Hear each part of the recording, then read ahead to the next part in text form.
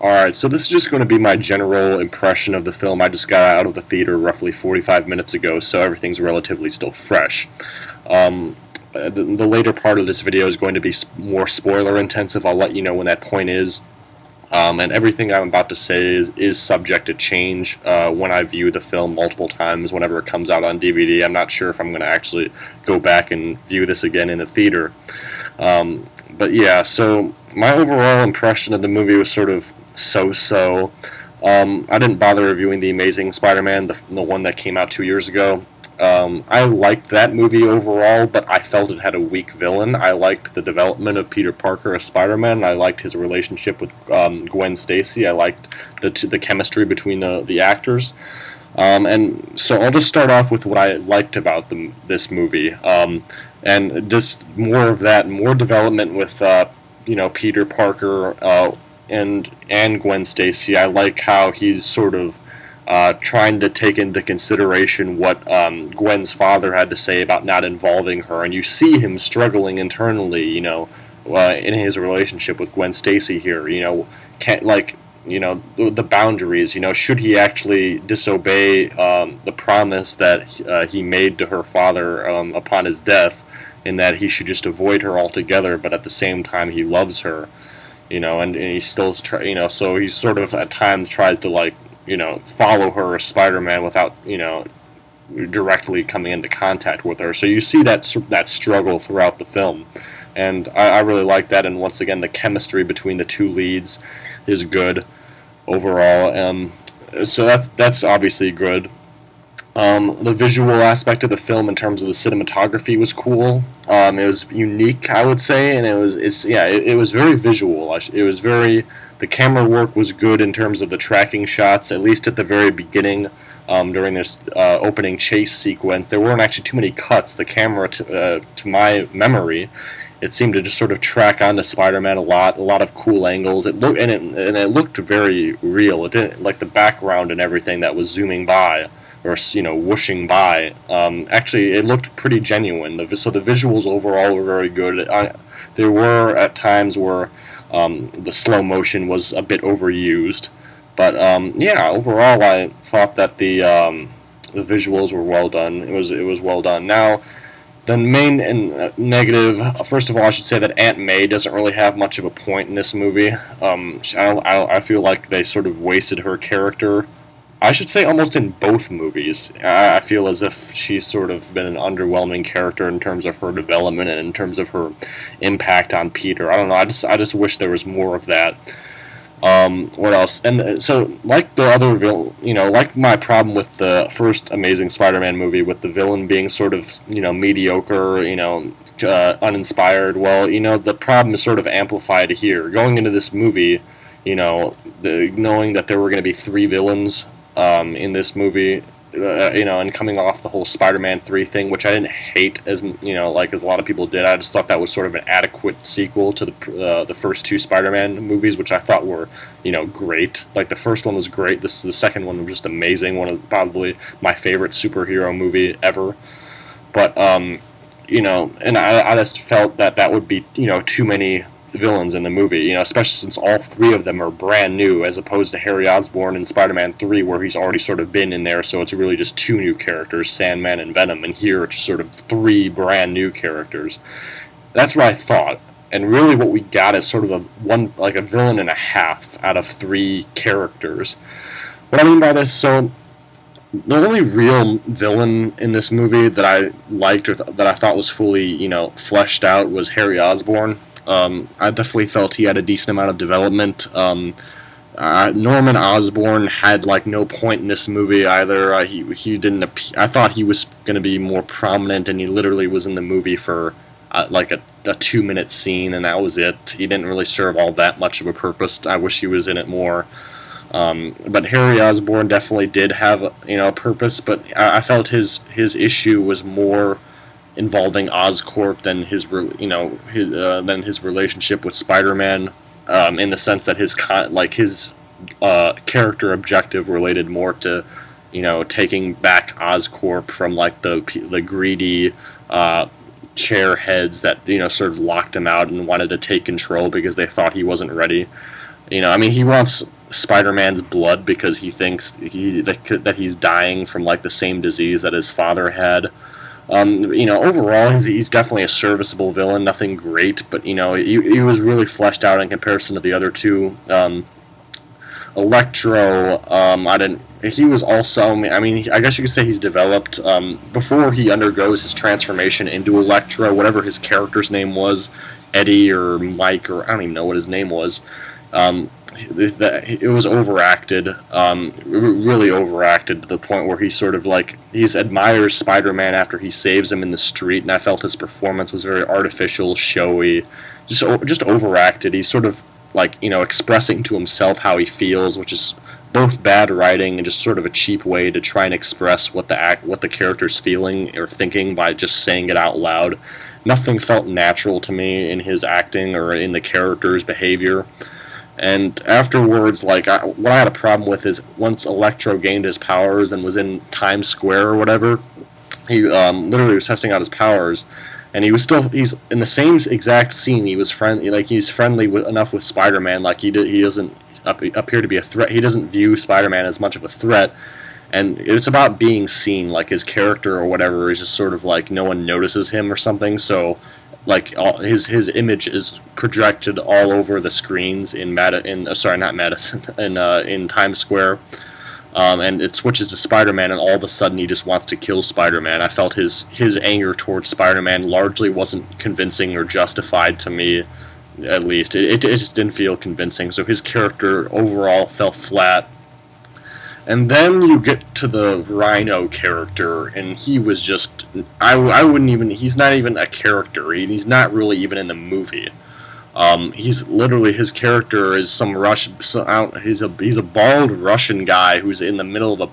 who's robbing some sort of Oscorp uh, stuff. Some Oscorp orange serum that's in the back of a truck, and he's literally just shouting. That's like. That's his first scene Uh, which lasts like the opening chase sequence that he's in. He literally just shouts a bunch of a bunch of nonsense, and then he doesn't even reappear until the very end, where he's actually in the Rhino outfit. But then you know he's only in it as Rhino for two minutes, and before it literally cuts to credits after that. I mean that's not really a spoiler, but he's just like you know it just.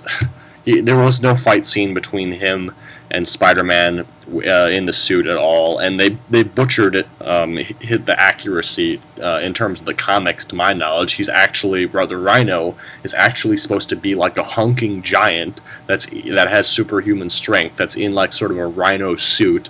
This guy just sort of in like a mech suit that looks like a Rhino because it has a Rhino horn on top of it. You know, it just it, like they butchered the character. It's not accurate at all towards the comics, to my knowledge, and he was just a complete waste. And I have absolutely no idea why the filmmakers decided to add him in. Now, with all that being said, the movie is still fairly, it's still entertaining and everything like that. But overall, I mean, it, it was sort of an, it, it was just okay. I mean, I liked, I definitely enjoyed the first Amazing Spider-Man movie quite a bit because of how they developed Peter and you know Gwen Stacy and everything, and even the villain, even um, the um, the lizard was I think better than uh, aside from Harry Osborn, the, lizard was better than both um, you know than than Electro and Rhino. I'm not even gonna even mention as a real villain because he just did he did nothing in the in the film. Um, but yeah, so now I'm going to talk about more of the spoiler intensive stuff. So if you you know don't if you don't want the movie to be really spoiled for you, then I suggest you go no further at all. Alright, so this is the spoiler intensive bit, so if you haven't seen the movie yet, you don't want it to be spoiled for you, then uh, please go no further, don't uh, turn off the video or whatever. Okay, so the first spoiler, minor spoiler I'll talk about, I guess, is the fact that a woman named Felicia is in, in this movie, so it's implying that Felicia Hardy uh, will be a character in the in the next film or in in the you know upcoming films.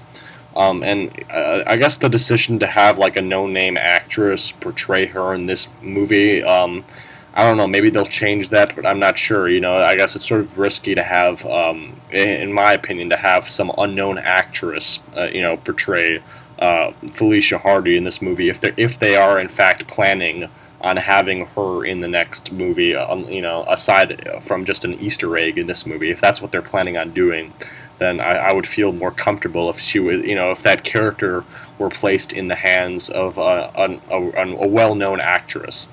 So in that respect, I mean, I, I like the fact that they're including her. Uh, I think that's that'd be well, that'd be an interesting move.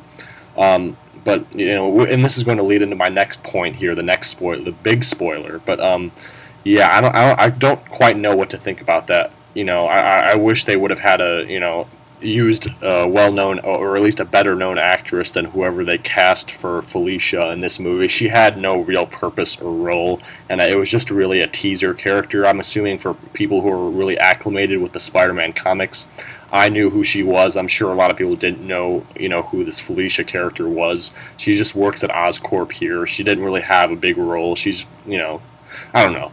Enough with that. Uh, the major spoiler is that um, uh, Gwen Stacy actually dies. Now, I actually knew. I almost wish it, I, I wouldn't have been. I, I, wouldn't say I was spoiled, but um, someone told me that she does in fact die in the comics because um, Spider-Man tries to save her from falling off of a bridge, and you know snaps or uh, you know uh, attaches a web to her neck to try or something like that, to, or um, and to try and stop her from falling, and accidentally breaks her neck. That's not quite exactly how it happened. She's falling down like in the uh, power plant or whatever. She's falling down uh, from a great height or whatever, and I think it just breaks her body instead of her neck, or maybe it was her neck. I can't remember exactly, but whatever. That was a really impactful moment and a really ballsy move on behalf of the writer. Uh, I was not, definitely not expecting them, you know, even though I had some prior knowledge about what happened in the comics, I didn't really expect that to happen going into the movie. But as soon as I, there was some uh, foreshadowing with the um, police, her dad, uh, you know, in Peter's mind as he saw her with her family and whatever, you know, he got the vision. You, you, you see him seeing uh, her dead dad in her mind and, and that promise that he made to, for her to not get involved with, you know, him being Spider-Man. So in the back of my, in my, of my mind, I almost sort of knew or I shouldn't say new, but I was more expecting that after, you know, with this sort of foreshadowing occurring throughout the film. Um, the actual death scene sort of occurred in slow motion, so I almost, you know, I was actually really expecting it. So it didn't come off, you know, as quite a surprise, but it, I still felt the impact of, of that, you know, especially since I actually liked her character quite a bit. So I was actually really, you know, that that was one of the few times I, in a while that I've actually, you know, gotten distraught over someone dying in a movie, a character, you know, a good character dying. So that was really well done. That that that was one of the highlights of the whole of the whole movie because it, for I'm assuming most of the audience did not expect that to happen, even with the foreshadowing. So really emotionally impactful really well done moment, uh, and I'm interested to see, you know, if, if, the Felicia Hardy love interest will play out in the upcoming film.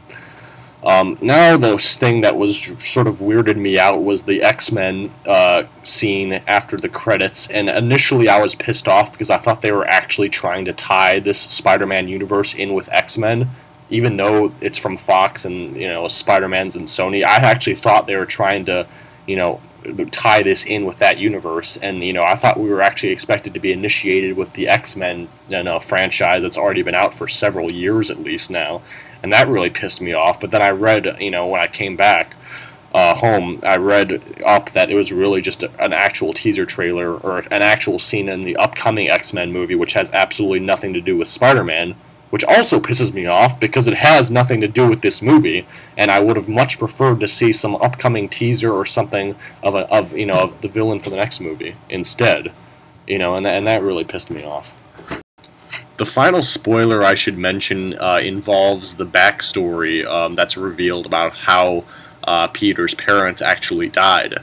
Um, I thought the information presented was definitely very insightful, and it you know revealed enough information about why um, Oscorp was chase or whoever it was. I'm, I'm assuming it was Oscorp and this uh, foreign military uh, government or I don't know some some organization that was after um, Richard Parker.